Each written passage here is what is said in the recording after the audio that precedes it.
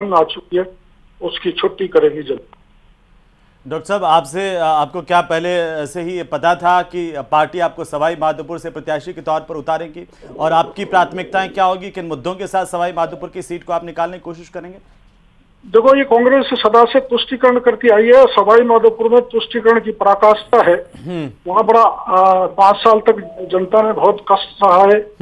आ, बड़े दमन किया है वहाँ शोषण हुआ है, भ्रष्टाचार बहुत फैला वैसे पूरे राजस्थान में भारी भ्रष्टाचार हुआ है। बेरोजगारों को बड़ा तंग किया है, पेपर सारे लीक हुए हैं।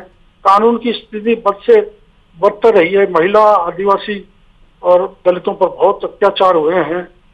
और इसलिए जनता उग चुकी है शासन से और पीछा छुड़ाना चाहती है। यही मुद्दे रहेंगे।